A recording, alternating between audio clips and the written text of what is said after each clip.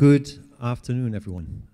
Uh, welcome to V2, the Institute for the Unstable Media. My name is Michel van Dartel. I'm one of the curators here at V2. And it's my uh, pleasure to welcome you to this lecture by Renzo Martens, Artistic Director of the Institute for Human Activities.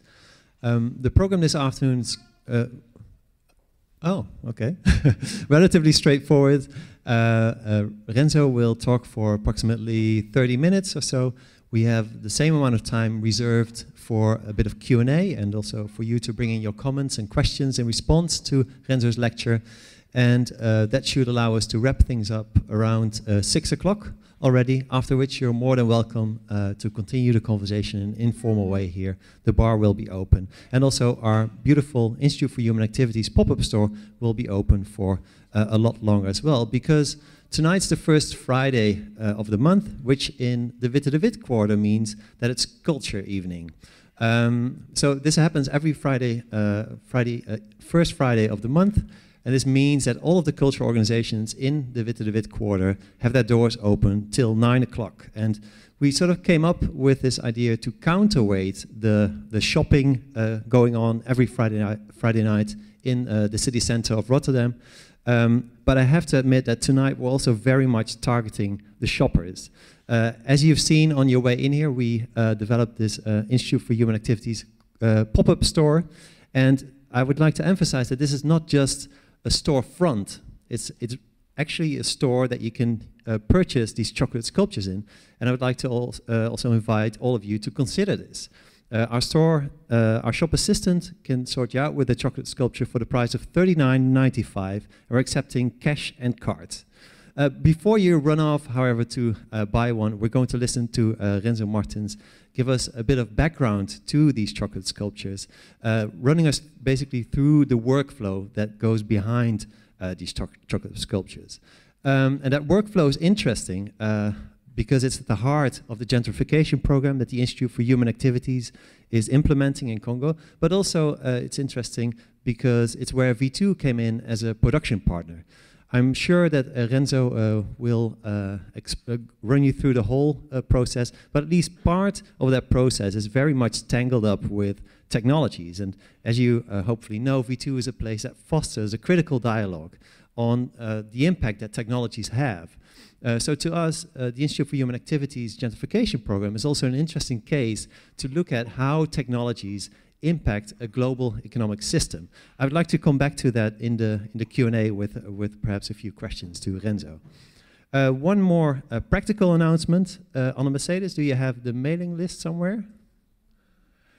There, there will be a, a small leaflet passed around. If you put your email address on this list, uh, you will be subscribed to our monthly updates of projects, programs, and publications. Uh, please at least be so kind to pass it on to the person next to you so that Anna Mercedes can pick it back up uh, at the back uh, and subscribe all of these people to our mailing list.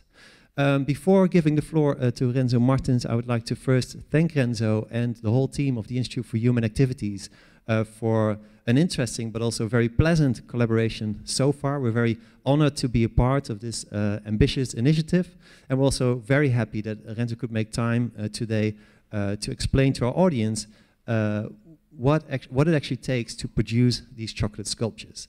Uh, Renzo, the floor is yours.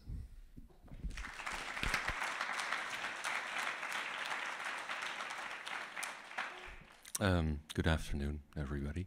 Thank you Michel, for your lengthy introduction. You almost said everything I wanted to uh, say, too.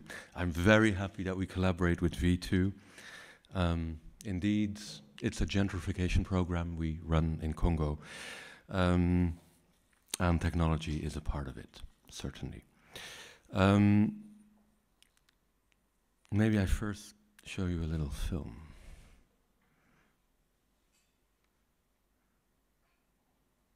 How will that work? Oh, yeah. No. I'm not so good in technology myself.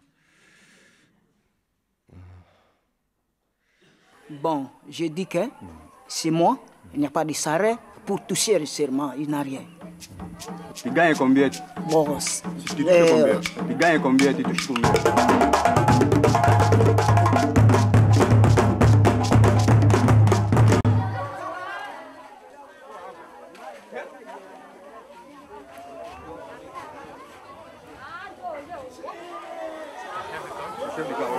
chef de camp. Ah, ah, ah. oui.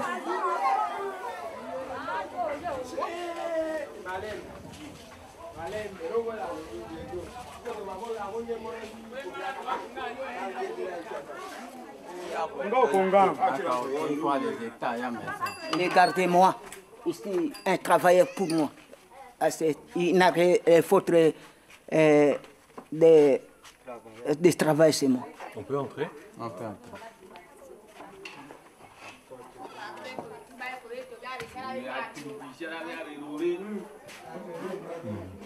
Regardez-moi. C'est capté.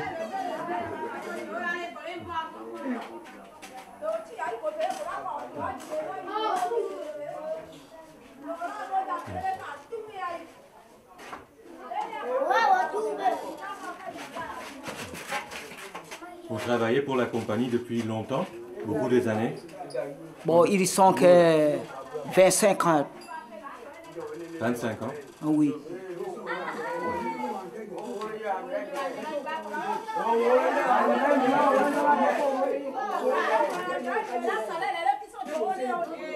Et l'huile de palme, ça va où? Le- maf- le- L'huile mafuta accueille wapi Bon, il n'est pas touché. C'est Mafuta des- mafuta mafuta les huiles que nous produisons ici Oh, bon. Ils sont qui ça, ça?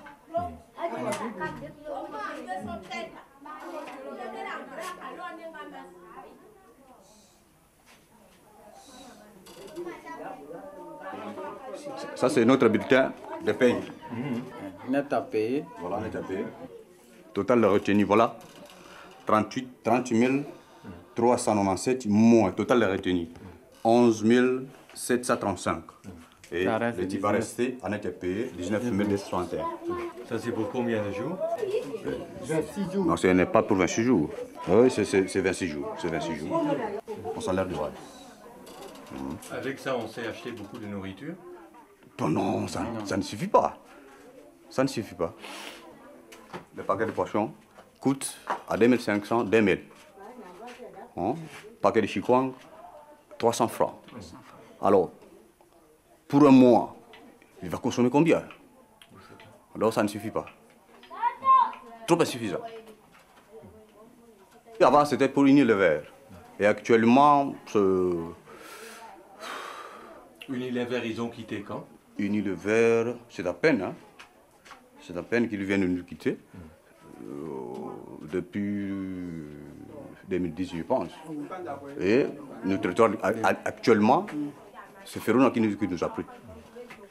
Nous sommes maintenant sur Ferroni. Avec Unilever, c'était mieux. C'était la même chose. C'était la même chose. Lundi, vous travaillez aussi et mardi? Mardi, oui, il a travaillé. Ok. Parce qu'il y aura un- une, euh, une conférence, vous êtes invité. C'est moi. Oui, vous pouvez euh, venir. Agaga. Conférence, hein, conférence des alliés. Mais vous allez inviter. La Oui. conférence, Yohana. Oui. Yo, vous allez inviter la conférence. Ok. Alors, à quoi ils sont? Bon, c'est la grande date. Conférence. C'est mardi. Mardi, mardi prochain. Oui.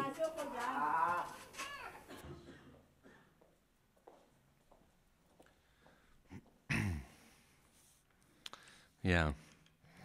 The part of the art world within which the Institute for Human within which the Institute for Human Activities operates, let's call it the critical art machine, is very much uh, dealing with issues like precarious labor, uh, migrants moving around the globe, and global inequalities, um, and how art maybe can offer a counterweight by highlighting all these inequalities and maybe by creating little projects left or right around the globe to strive for equality and justice, things like that. Uh, critical gestures that, for better or worse, try to denounce capitalist exploitation. And yet, I found out uh, in my own work and in the work of so many of my colleagues that, however critical one is of, for example, labor conditions on Unilever plantations in Congo, in the end, when you show that work in maybe Berlin or Rotterdam or New York, people will gather in Berlin, Rotterdam, New York, have beers at the bar, later out go later on go on, go out for dinner, uh, have interesting discussions, write PhDs around it, produce more critical art. In the end, however much we deal with labor conditions in Congo, it only improves labor conditions in Rotterdam.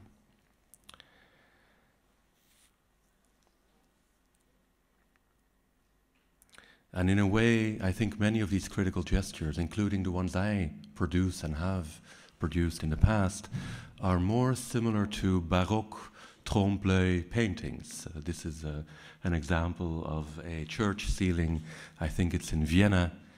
It offers you a beautiful picture of the heavens, of some beautiful collaborative project, if you will, uh, and technology based too at the time. Um, it offers you a beautiful picture, but it doesn't really explain you what the structural and especially economic conditions are that are needed to build or to, to create such a beautiful collaborative exception to the status quo. And therefore, I think more often than not, the political claims of contemporary art are very, very limited.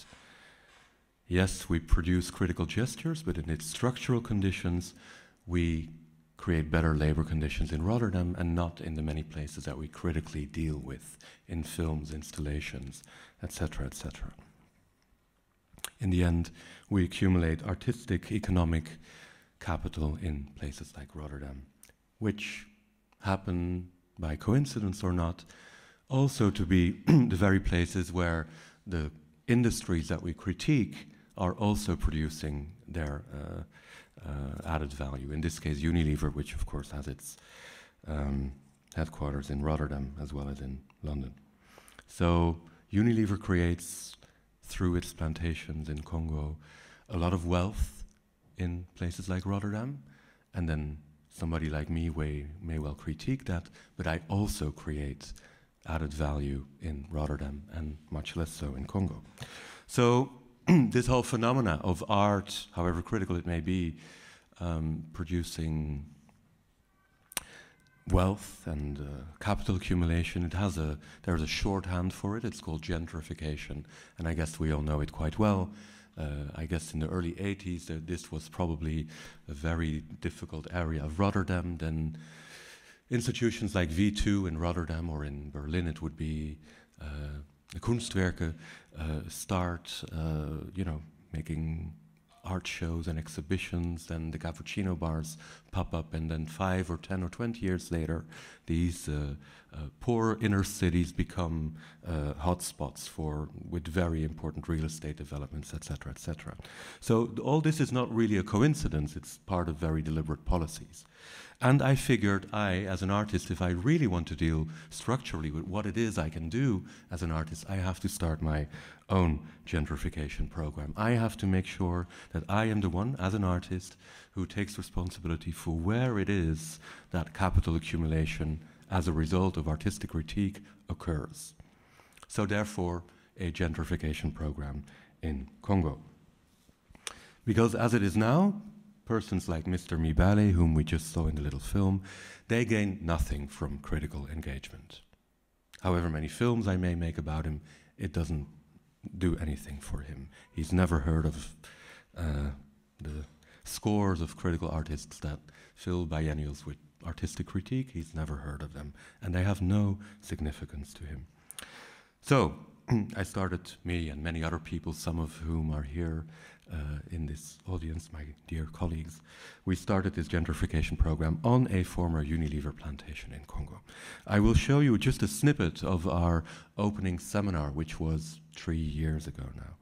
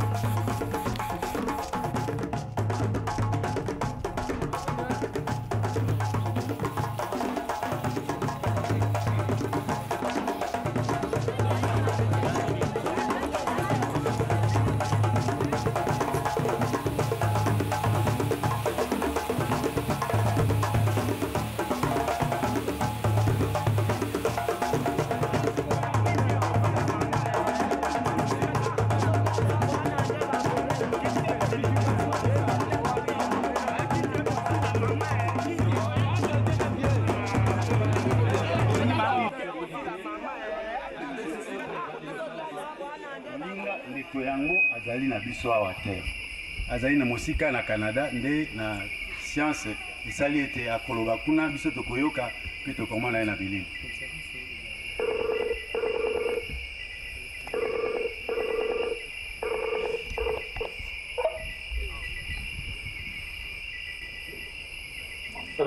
Hi, Richard. Hi. Thank you for uh, making time. Hey, how are you? Um, we're very good. We're in the middle of the rainforest here in uh, a place called Boteka in uh, the Democratic Republic of uh, Congo. And uh, we're Nice. yeah.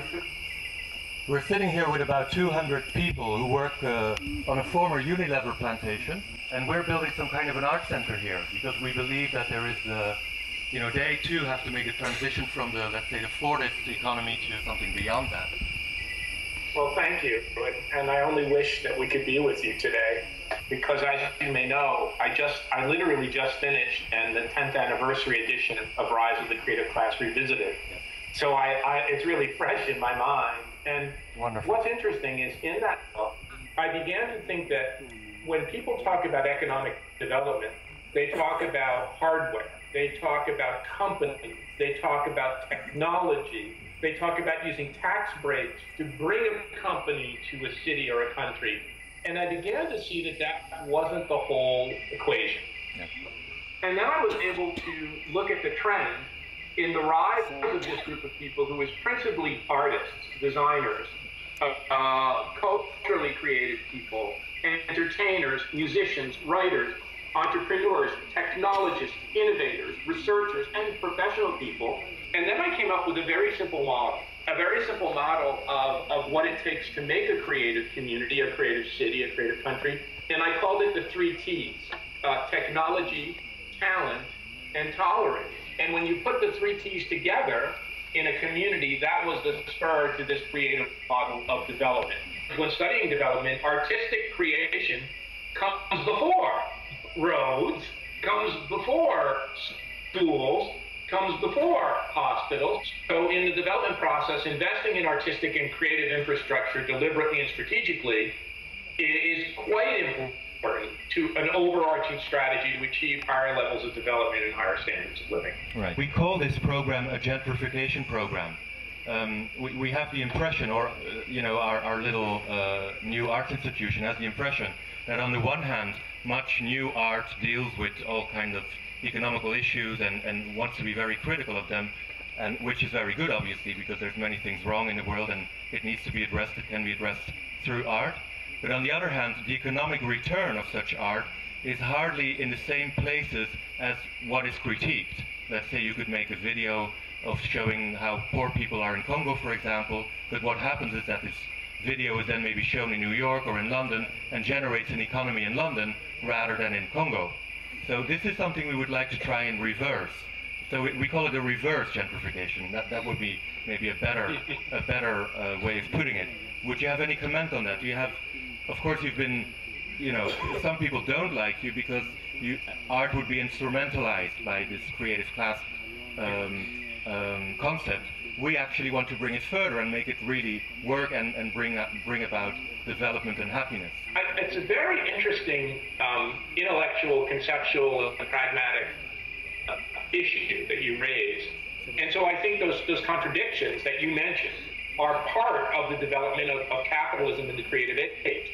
And I think it's incumbent upon us, artists and creative people, to lead in those struggles and, and not simply, and I'm saying this with all humility, complain.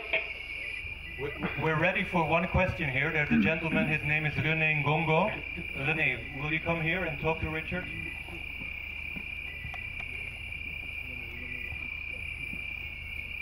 Juste une petite question. Je suis ravi par votre théorie des 3 T, technologie, talent et tolérance.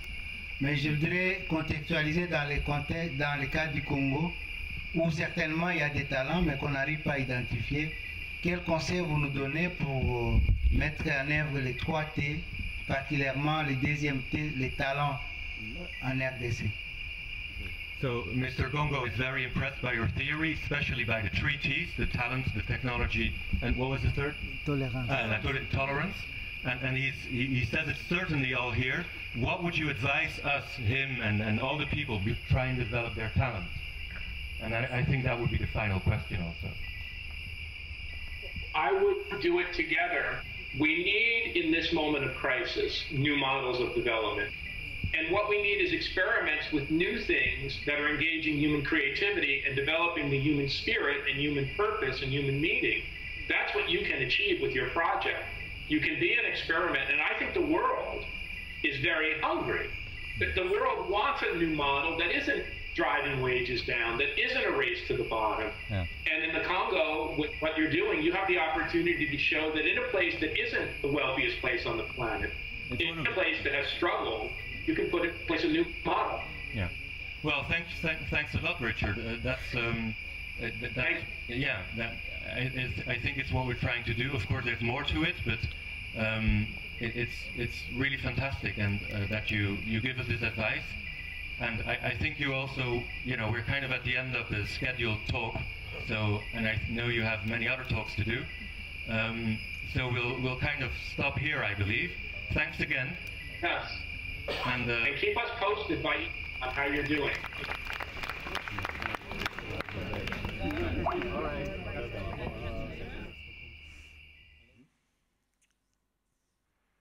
Yeah, Florida.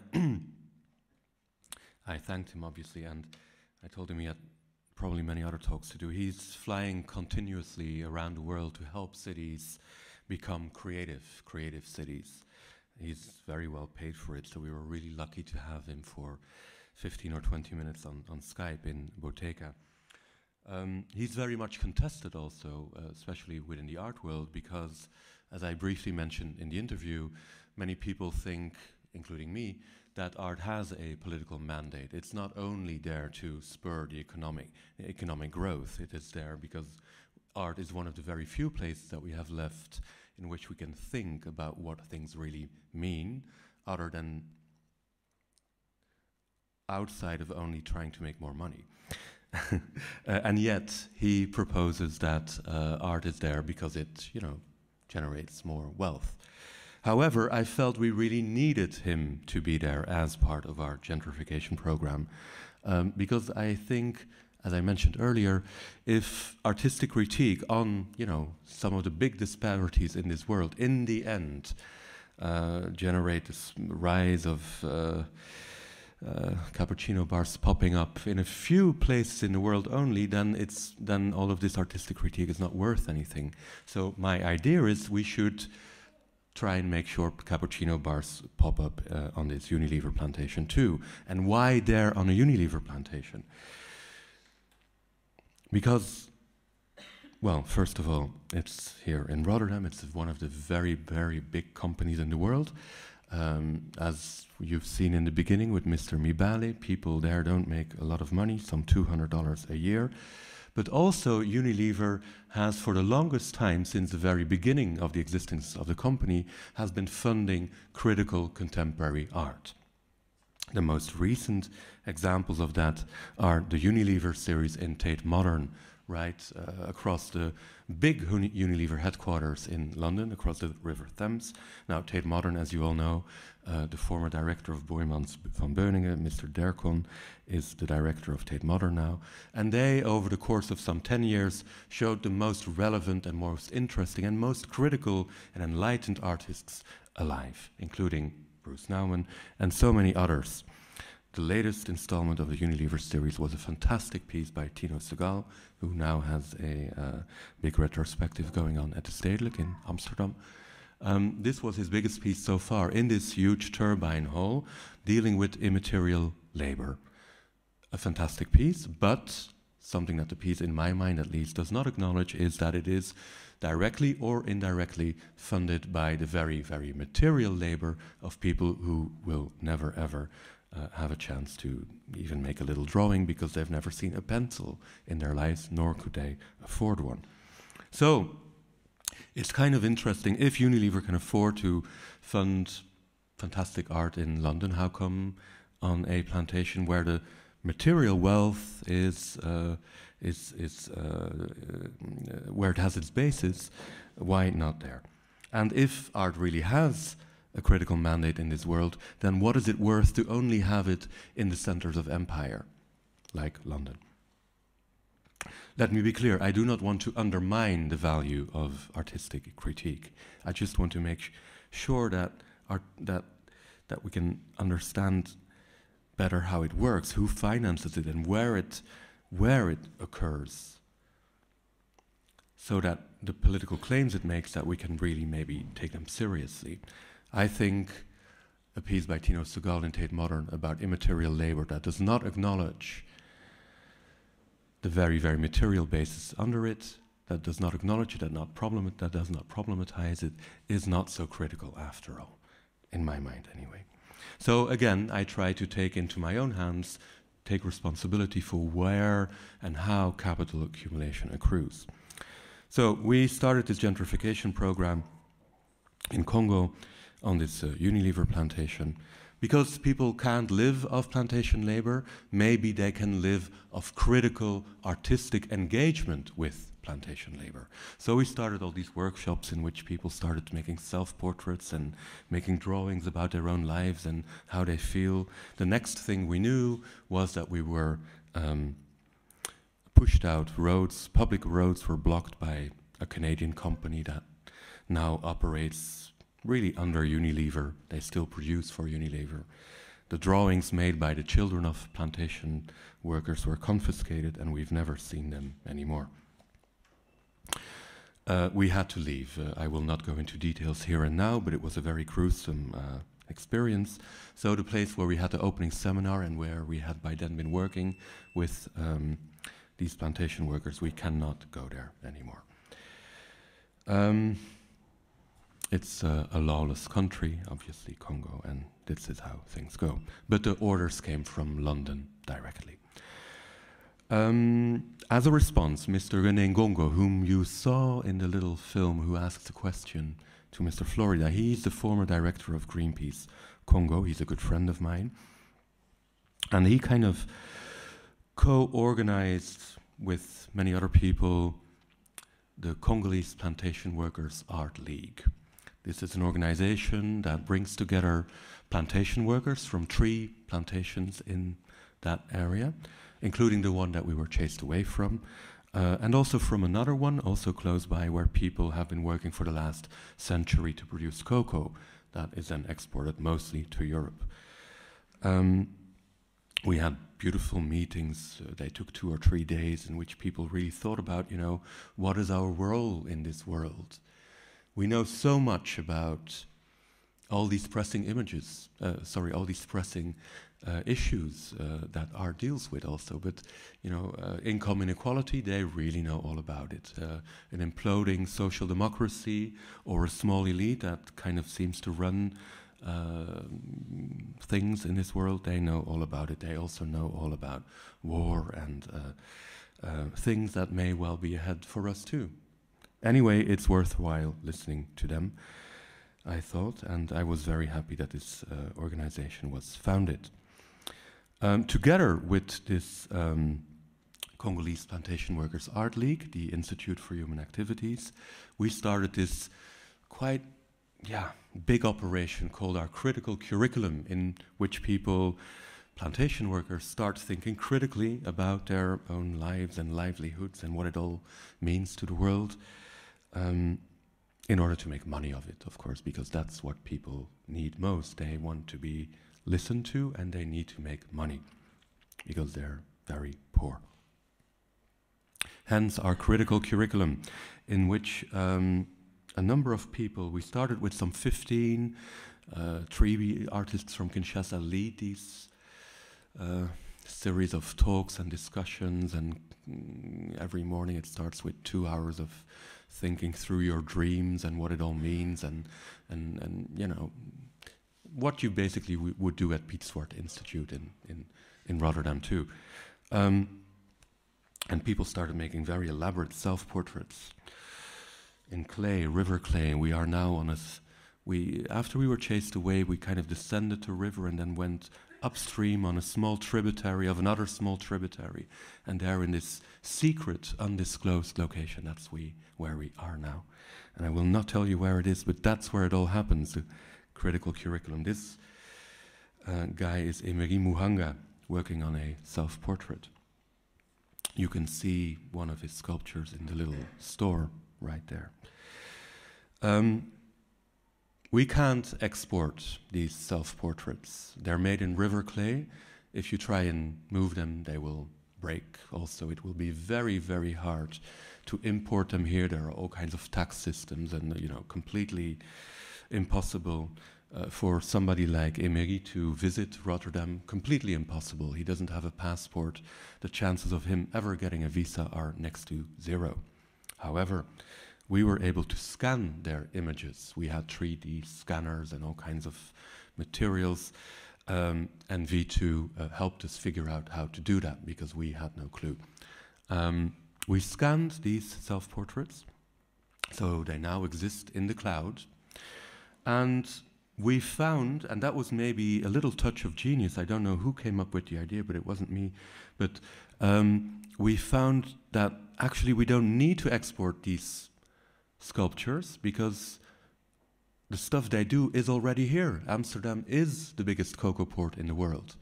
The cocoa that they they can't get a visa, but the cocoa that they produce, it's there lying in these warehouses in Amsterdam and in Antwerp. You know, thousands of tons of the very stuff that comes from these very plantations. So the only thing we need to do is upload the feelings, emotions, artistic visions of these plantation workers in Congo, put them in the cloud, work them a little bit, you know, there's computer programs and stuff, and then we print it 3D.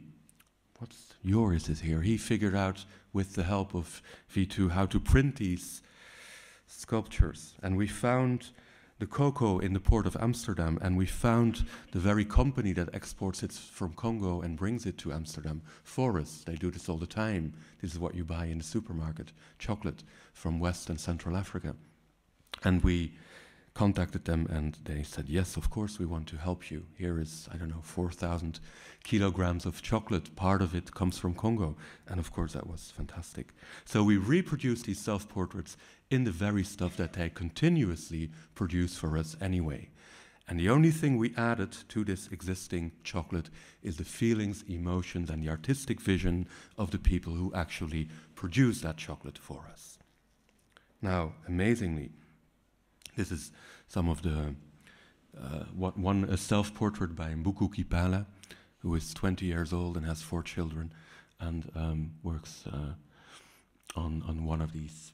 It's no longer owned by Unilever now, but it's one of these plantations with a very strange status. They still produce for Unilever, but it's not owned by Unilever.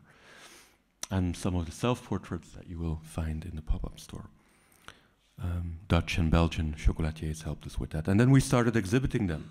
Um, here you see uh, Jan Willem Jansen and his colleagues, uh, uh, star members of the Dutch patisserie team, who were, you know, on the basis of the technology that we that I mentioned, uh, able to reproduce these sculptures out of the cloud into the chocolate. Now, and of course the logo of our funder, whom we can't thank enough.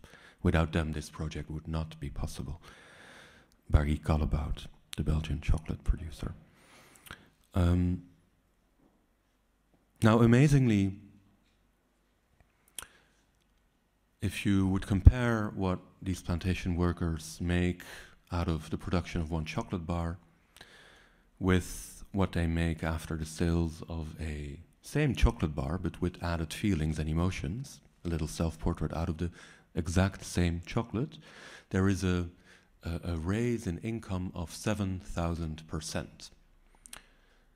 And that, of course, is, however critical I may be of him, exactly what Richard Florida proposes. The only thing, what, what is going to spur the economy is no longer hardware. It is not like make more chocolate or work harder or cut more, I don't know, work deeper in your minds. It is feelings and ideas and technology and talent. That's what's going to create a new economy somehow. But of course, you know, most of the people on the plantation have no cell phone, there is no internet that works. Uh, and, you know, we are trying to build a little place where, yeah, artistic engagement with very, very difficult labor conditions can lead to an improvement of those labor conditions through, for example, self portraits. Um,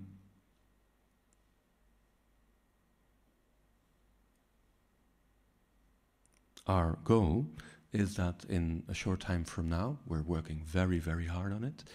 Uh, this gentrification program is really going to take off. Um, we bought a big terrain, some 20 hectares. People are continuously making more sculptures. Soon at Fons Welters in Amsterdam, there will be big shows as well as in Brussels and Berlin. And we kind of are developing a business program. And we found out that if only we can sell about 1,000 of these little sculptures there, we can enormously improve the livelihoods of these people. But most importantly, with this money, we can build a site in central Congo, in Central Africa, where art can fully deal with its own dependencies on global capital streams. So that artistic critique, as I pointed out in the beginning, it seems so sterile. It only functions within uh, places like these, and it has very, very little impact on the parts of the world that, in word or in name, it engages with. So we're trying to make sure that Congolese plantation workers in a few years from now, too, we'll have, be having these debates. We'll be discussing what we do. We'll have cappuccinos and then later on gin tonics at the bar. Thank you so much.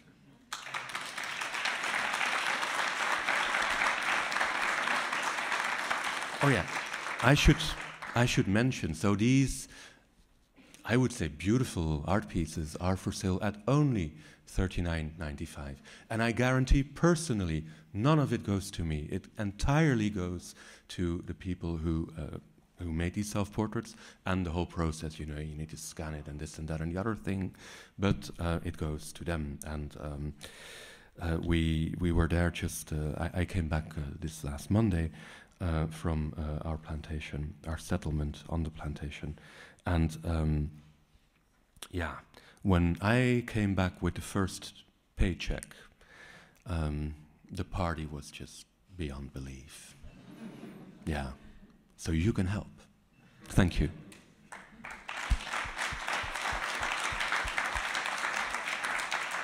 Thank you, Renzo, for that uh, wonderful presentation. Uh, please stick around because uh, we're going to handle some oh, yeah. questions from the audience. Sure. Uh, but before I uh, open it, uh, open this Q&A to the audience, I have one for you as well because I think uh, the Institute of Human Activities and its gentrification program also makes a very interesting case in a long-standing debate. And that debate uh, goes like 10 years back, I think, when Thomas Friedman published his famous book called The World is Flat, in which he basically advocates the vision that technology eventually will make the world flat and will create equal opportunity for everyone in this world, yeah. also economic opportunity.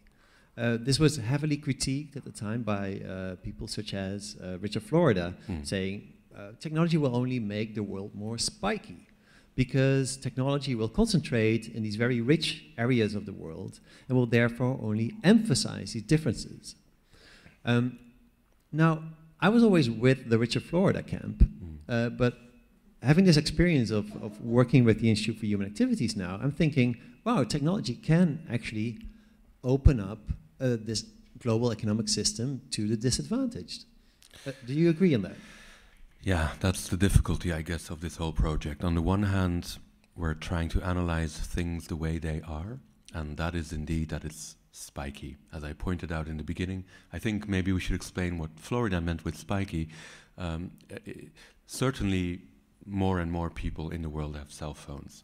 Um, and yet, there is a gigantic urbanization going on, and uh, even in the Netherlands, you see that the places where really debates are happening are shrinking. It's not there are, you know, uh, Rotterdam is rising on the rise again, and, and so is Amsterdam, but many other places of the country are, are losing people and having, having an internal brain drain. And worldwide, this is even uh, much more the case. There are maybe by now 10 big urban centers in the world where almost all uh, new ideas are being developed.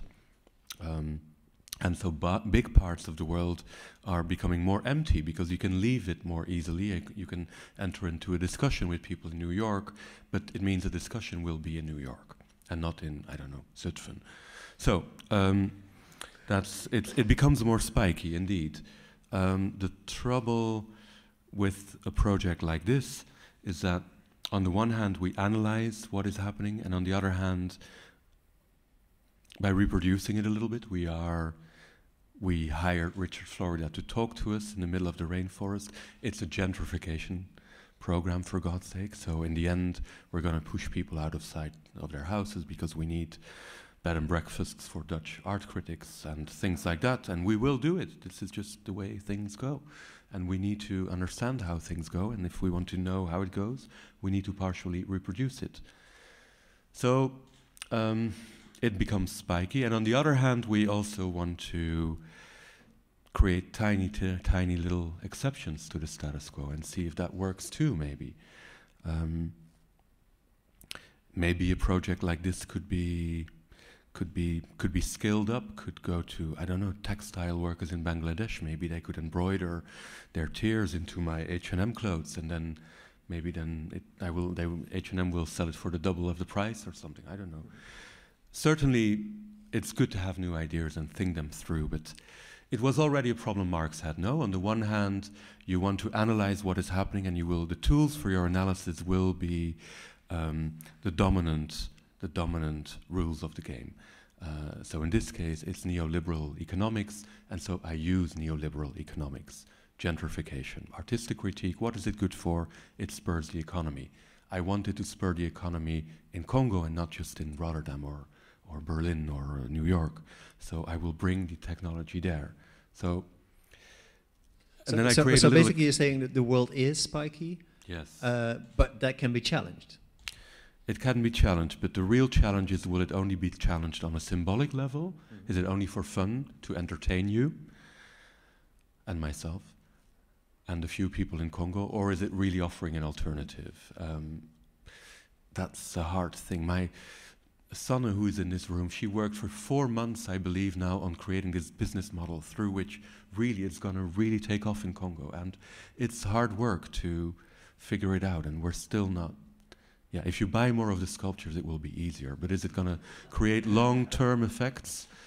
Um, so far, we find that the big centers of economic activity are also the big centers of critique on how the economy is organized. So, that in itself is proof to Florida's case in point.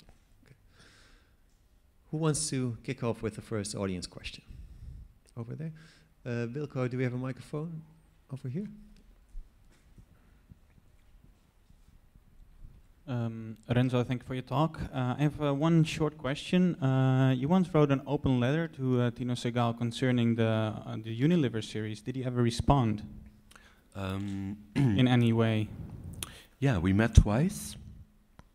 His gallerists, well, one particular gallerist of his is, is, is not favorable of a ongoing collaboration between Tino and ourselves. Uh, he thinks, the gallerist thinks that because we wanted, Tino made fantastic works. He's certainly one of the geniuses, uh, genius artists uh, around. No doubt about that. Um, he made this fantastic piece. It's called This is Exchange. And what happens is you enter into an exhibition space, and um, there is nothing other than a museum official who comes to you and asks you to tell him or her about a personal experience with the market economy. How does the market economy affect your life? Or uh, tell us about how you engage with the market economy. And then, so you as a visitor, you say, oh, this or that happened to me or something. Then if this museum official thinks that was a beautiful story, you get a voucher. With the voucher, you go to the entrance uh, place and you get your entry money back, if it was a beautiful story. If, however, the museum official thinks the story wasn't so good, you don't get your entry money back. To an exhibition again, where nothing is to be seen except your own story right? So that's the piece called This is Exchange. And we thought it would be tremendously interesting to have this very same piece uh, on this Unilever plantation that you saw in the beginning. So Mr. Mibale, whom you saw at the beginning, uh, can and you know you build a little uh, shack, and uh, he can he has to pay 50 francs or half a day's salary or something. He can talk to us about the market economy. If it's a beautiful story, he gets his money back. If we don't think the story was so great, well, that's where the exchange ends. So I suggested to Mr. Uh, to Tino that we would, you know, do his piece on the plantation, but he said it was not the right context. Oh no. I don't know why. He's Okay. funded by them. He's funded by Mr. Mibale, but yeah, I don't know. Yeah. Any more questions? Oh, there's two. Uh, let's start in the back.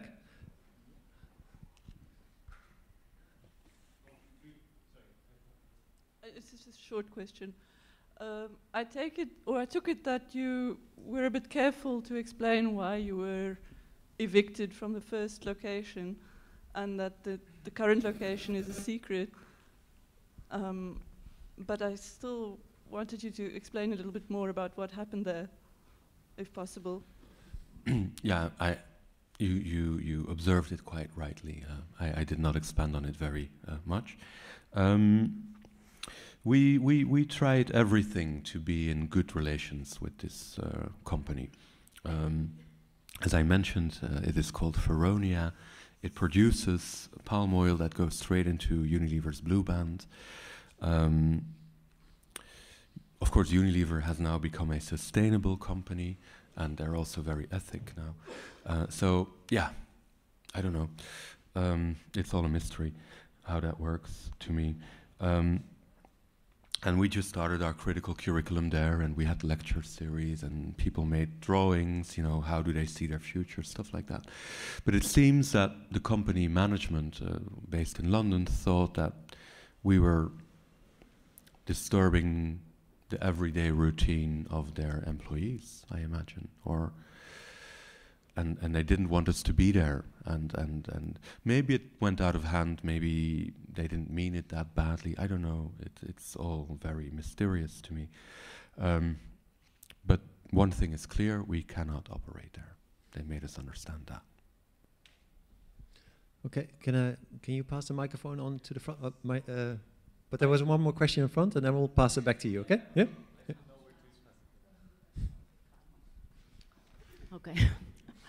um, maybe an observation, which hopefully turns into a question, uh, related to what you were talking ear about earlier, uh, the notion of scale.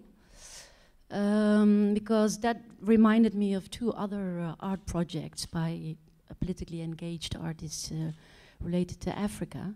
Of course, uh, the famous one by Christoph Schlingensief, uh, the Opera Village in Burkina Faso, and uh, more recently uh, Jonas Staal, who went to Mali to support uh, the independence uh, struggle by the people from Azawad. And I mean, I sense the same uh, strength, uh, perseverance, and engagement in all three projects. And I just wondered, how do you relate your project to those other two? And could you maybe uh, uh, imagine, you know, teaming up, for instance? Mm. well christoph is no longer alive I know. jonas still is um, i think the projects are different there certainly are also uh, uh, resemblances but what certainly is different is that um, I try to avoid making all kinds of critical gestures. I think they come too cheap. They certainly come too cheap for relatively rich, well educated, and well to do people such as ourselves here. Um, I want to create, uh, I want to generate knowledge on the status quo, not just offer tiny, tiny exceptions to it. So, my end game, in a way, is that we can understand more deeply or analyze more deeply what art's mandate in this world is. And the fact of the matter is that it's completely dependent on capital.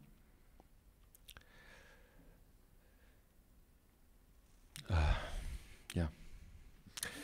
So, are you saying as long as it doesn't bring in any money, it's actually no good? No, what I mean is that um, where art is, where it is, where it can afford to be critical, where it can afford to, it is completely dominated by by where by by corporate interests. It's no coincidence, I imagine, that Unilever funds big um, shows with really politically charged works by Ai Weiwei and Tate Modern in London. You know against oppressive governments in China, but at the same time on plantations in Congo, run indirectly still by them, uh, people are not allowed to make drawings. So, yeah, what can I do? Offer like tiny exceptions to it, or can I maybe build a, a, a self-critical, self-analytical body and that's my goal, in which art can fully come to terms with what it is to inhabit these times in which where art can afford to be critical is dominated by yeah by corporate interests i want to shed knowledge on that rather than having the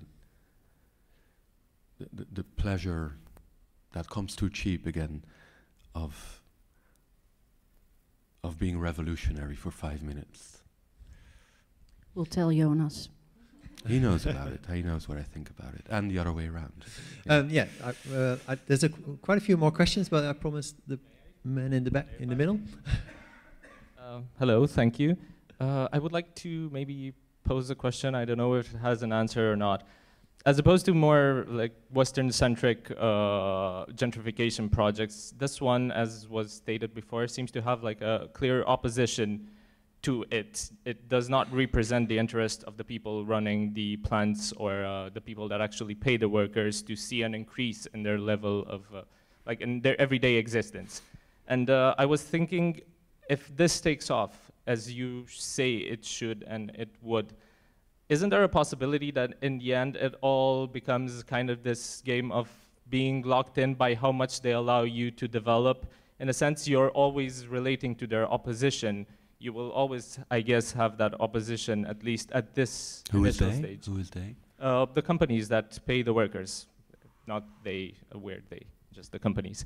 Um, isn't there that risk that, uh, yeah, it unwillingly you always have to relate to that and you will always be locked in in your process and they tend to have more control over it than uh, just you and your initiative.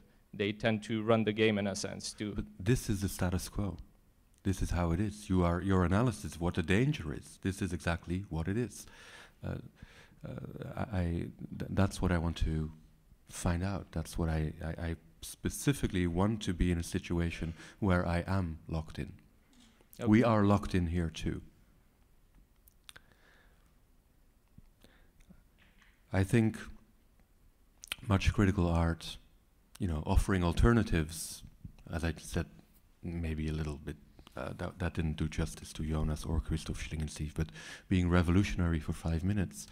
Um, the, the problem is with it is that it, you know, when you go to the Sao Paulo uh, Biennial or the Venice Biennial or, or, uh, or the Istanbul Biennial, you see many pieces that critically engage with precarious labor and migrant movements and how unequal it all is, etc., etc.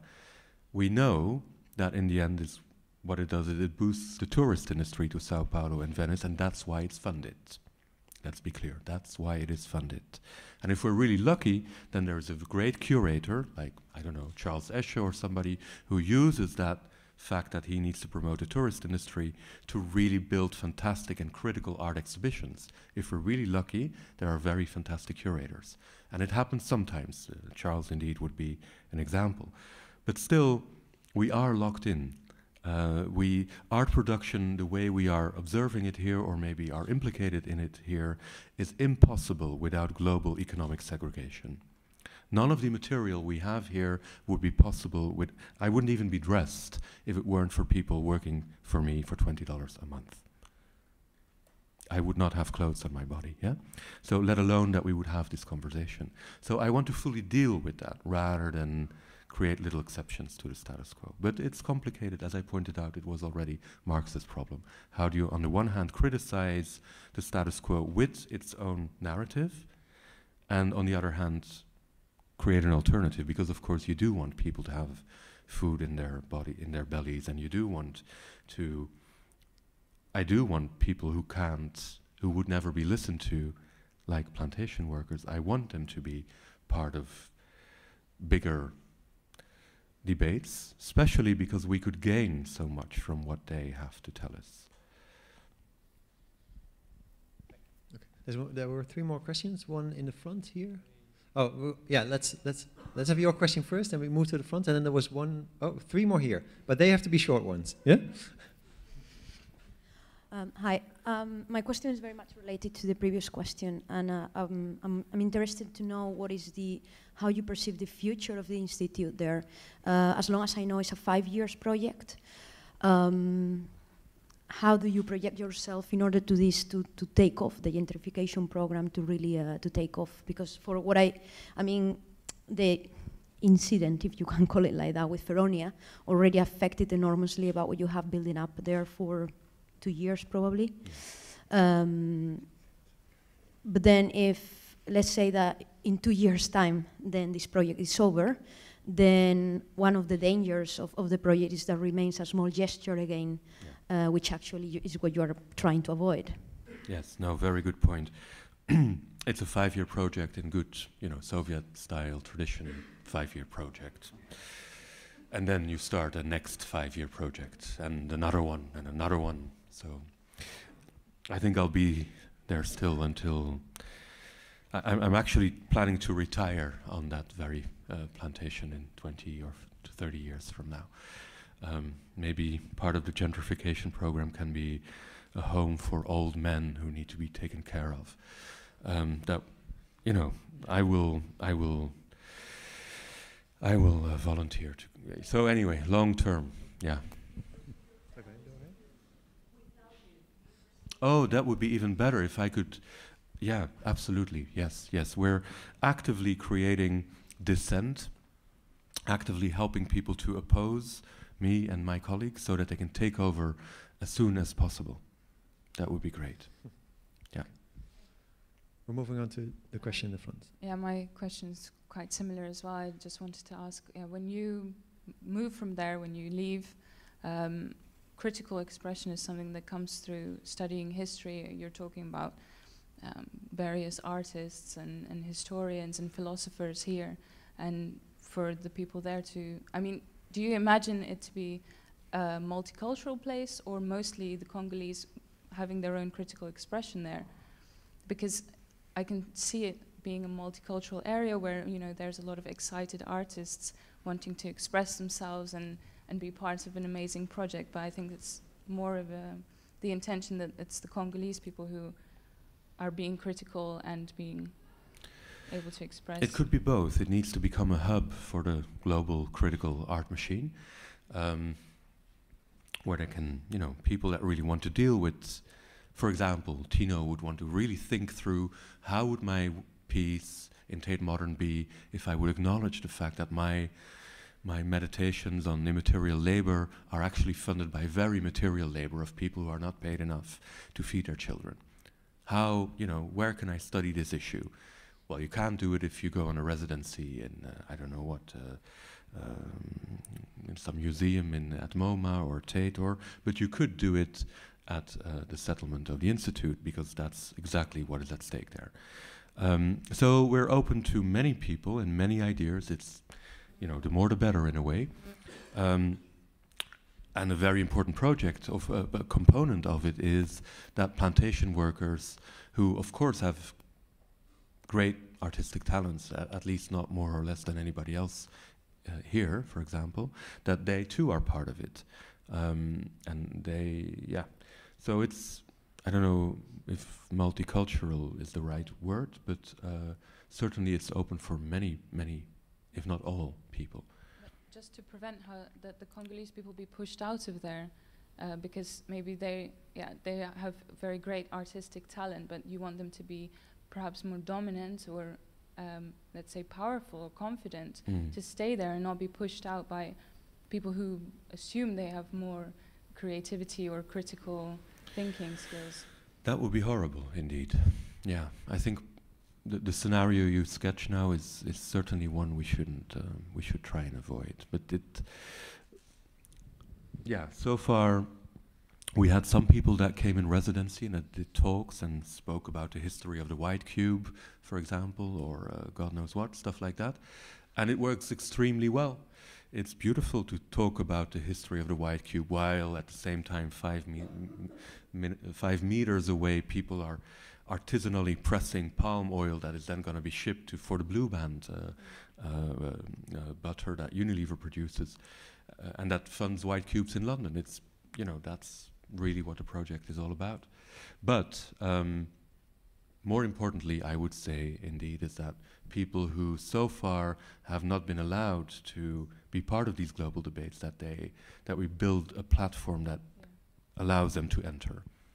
And it seems to work. I mean, there are invitations coming from universities and shows and exhibitions, and uh, you know, it's. I, I think beyond my control, in a way, it may well start to work far better than I could imagine. Yeah. Okay. We have three more short questions. Uh, shall we start in the back and then work our way to the front? We're already running a little bit late, so Oh, yeah. please keep it short. Uh, yeah, I had a question. I was wondering, um, the cacao um, company that partly made your project possible, is that a fair trade cacao company or is it yet another Unilever type of company? Oh, a Unilever by now is completely ethical and uh, also sustainable. And Okay, apart um, from that. uh, and Barry Callebaut has a long history of uh, helping its uh, cocoa workers uh, reach better standards of living too. Um, no, I can only be really grateful to Barry Callebaut. Okay. They do fantastic work, and they fund us. I mean, that is, they give us they give us a lot of free chocolate, and it would not be possible without them. Okay. And it's really tasty chocolate as well. And, uh, and um, You're doing good promotion for our shop. Uh, yeah. Oh, yeah. You could, you know, you you can eat it or shelve it away. It's, you know, the possibilities are nearly endless. okay, th- there was uh, one short question still in the middle here, and then oh, two in the front. Okay. Yeah. Yeah, that was pretty much my question. But if uh, if Unilever were to get on board or wanted to, you know, if we're smart enough to take it on, would you say yes? Absolutely. Absolutely. Yeah, I would love them to fund this project. I would love them to. That would be a big difference, a little bit, also with uh, uh, to your previous question. You know, do you? What is your difference? The difference between this project, for example, and Jonas Staal's uh, project? I just strategically accept that we live in the world that we live in, and see what that really means and what art's mandate within that world is. And uh, if Unilever funds Tate Modern and is able to churn out really critical artistic positions there, then why not on a plantation in Congo? I think that's what we should try and figure out, because that's, of course, where the world is headed to. Uh, uh, money with little strings attached, uh, let's say social democratic money, is going to disappear very quickly. Have you tried? Have you tried? to Oh yes, it? yes. I sent them several emails, including to Mr. Polman, the CEO of Unilever. Um, yeah, uh, he says it's a great project. We wish you a lot of good luck with it, and thank you. And That's great encouragement. yeah, yeah. Okay, the last question here. Yeah, I was just thinking of another project in Congo, um, the Virunga uh, documentary about the mining company um, in the nature reserve.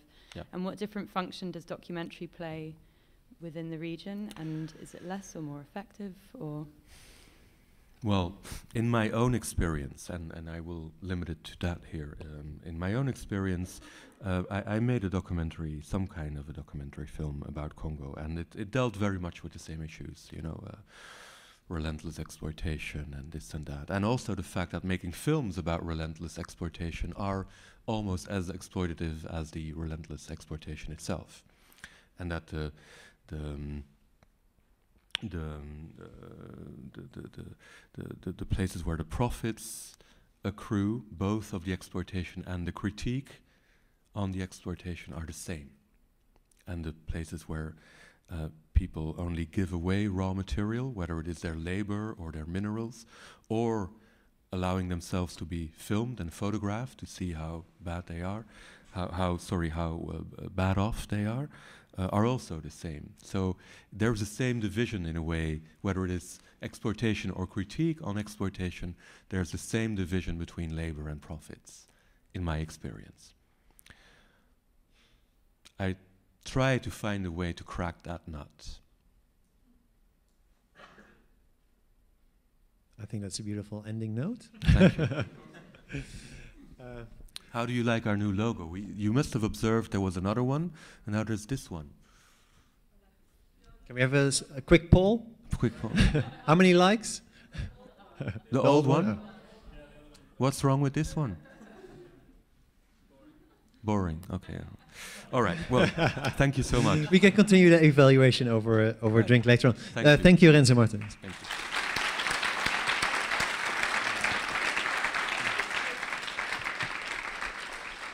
Also, uh, thanks uh, all of you for your input in this uh, Q&A. Uh, I think your questions were wonderful. I know a lot of you have to run off because there's a lot more to do in the Kunstavond, in the uh, Witte de With kwartier. Uh, Mama, Tent, Witte de With, Worm, they all have programs tonight and they all have their doors open till at least 9 o'clock tonight.